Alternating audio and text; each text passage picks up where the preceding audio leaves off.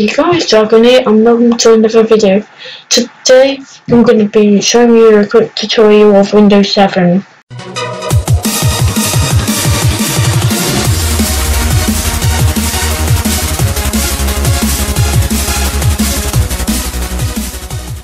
So, you want to change um, caption buttons but you don't know how and I'm just going to show you the ones that I've got now but change them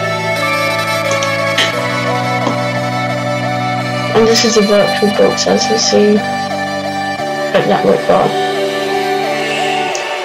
This does take quite a long time because it is a virtual box and I will be getting Windows 7 properly soon.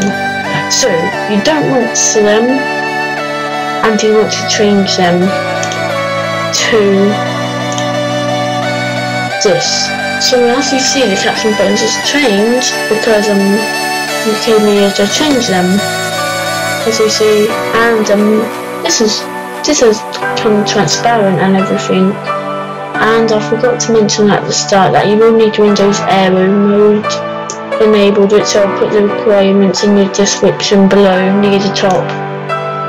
So, first off, you would want, oh this is getting really laggy. So first off you would want to right click and go to personalise and it is a lot more simple than what you think.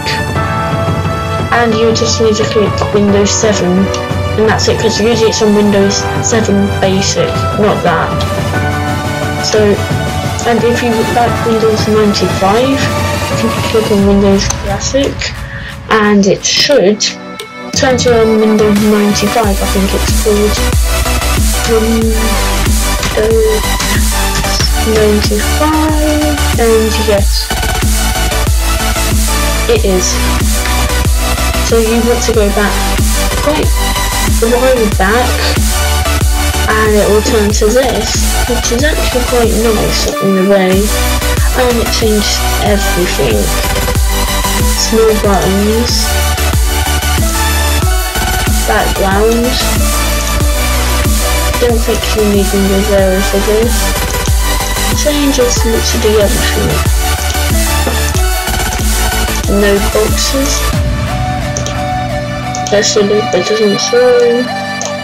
It's quite nice. Recyclable.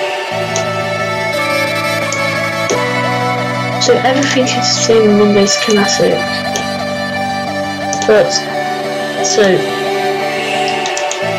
it does work for Windows 95. So, this is a quick basic tutorial of how to get Windows um, 7 uh, caption buttons and if you want Windows 95 so yeah.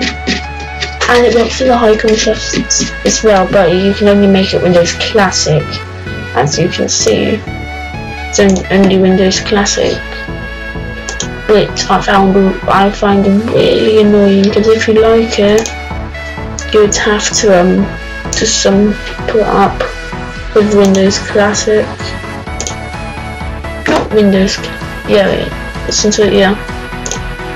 So yeah, I hope you guys enjoy and I'll see you guys in the next video. Bye for now. Peace.